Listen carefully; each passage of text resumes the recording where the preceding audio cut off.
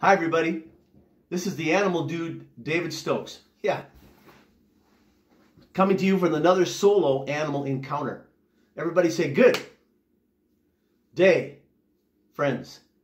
Please make two hooks like this. This means friend in sign language. I like to use sign, it tells me if you're paying attention. Everybody say good day, friends. My name is David. Everybody say hi, David. Yeah, and today I wore my turtle hat again. This, of course, is my snapping turtle hat. See the snap?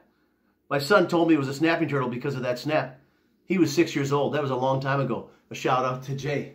Before I show you the turtle today that we haven't met yet, I want to think about the earth. The earth is where we live. Earth. Yeah, everybody make the earth. Put your fist out like this. Put your middle finger and thumb on top. Everybody say earth. Now make your hand look like my hand. This is an I. Everybody say is. Ready? Everybody say earth. Is. Now everybody say eat and sleep. Where you eat and sleep is your home. So let's, wait a minute. I eat in my car and I sleep through class. Never mind. Everybody say earth is home to all of us. Who lives on planet earth? Everybody say everybody. And on the planet earth, please notice, what color do you see? What color do you see? The most prevalent color is blue. Yeah, everybody make a beat. Make your hand look like mine. Everybody say blue. Now say brown. What does the blue represent? Hmm. Everybody say water. Make a W. Everybody say water. Water is, everybody say is, life. Make two L's, point to your belly button, lift up, say life. Let's try it again together. Ready? Water is life. Without water, we wouldn't survive. Many native peoples talked about the earth as water. Jacques Cousteau said they misnamed the earth. They should have called it water. 70% of the earth's surface is covered by water. First, there was water. Out of the water rose a giant turtle. Everybody say Turtle Island. Some people believe that out of the water rose a giant turtle like this one. And out of the turtle grow, grew a tree and all the other forms of life. Turtle Island. You could look up that story. It's pretty cool. So I want you to meet a turtle that we haven't seen yet. Yeah, everybody say, bring out the turtle. Yeah. Okay. Raise your hand if you can see orange. Raise your hand if you can see orange.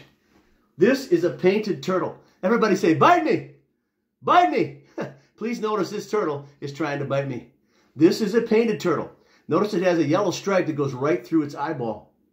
And this one has orange plastron. A big shell on the bottom, which is called the plastron. Practice that word, plastron. Yeah, that's the belly of a turtle.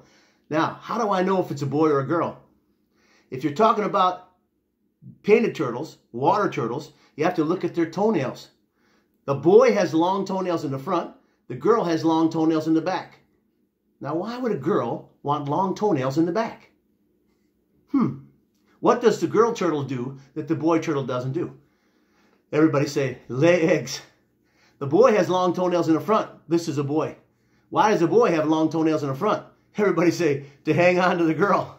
And if you don't know what that means, talk to your parents later. I want you to compare this painted turtle to the snapping turtle we met the other day.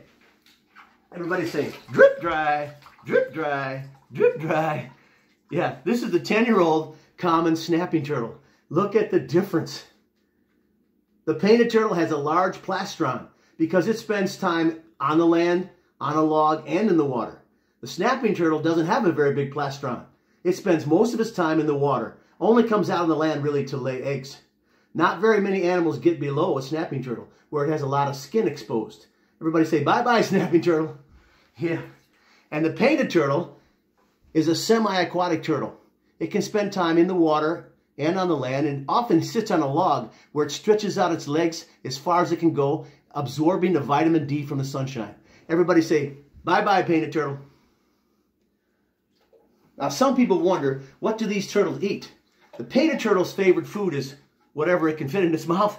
It likes to eat mostly worms and fish, maybe some plant material. Snapping turtles are not picky. They eat whatever they can fit in their mouth. Thank you for being here today. Thanks, the animal lovers. Everybody say animal lovers. I'll see you soon for another animal encounter. Bye-bye.